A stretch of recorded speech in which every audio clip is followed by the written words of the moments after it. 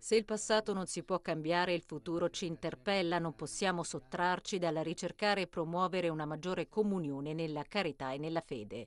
Con queste parole Papa Francesco ha accolto in Vaticano i membri della presidenza della Federazione Luterana Mondiale, pur riconoscendo le divisioni del passato, anche molto dolorose, che hanno visto i discepoli di Cristo distanti e contrapposti, il pontefice ha espresso soddisfazione per il cammino ecumenico degli ultimi anni, un itinerario che non può permettersi di fare passi indietro, accontentarsi, arrestarsi per timore, pigrizia, stanchezza o convenienza.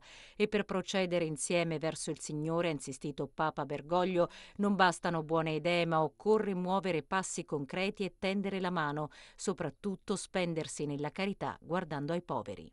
Solo pregando possiamo custodirci gli uni gli altri. La preghiera purifica, fortifica, illumina il cammino, fa andare avanti. La preghiera è come il carburante del nostro viaggio verso la piena unità.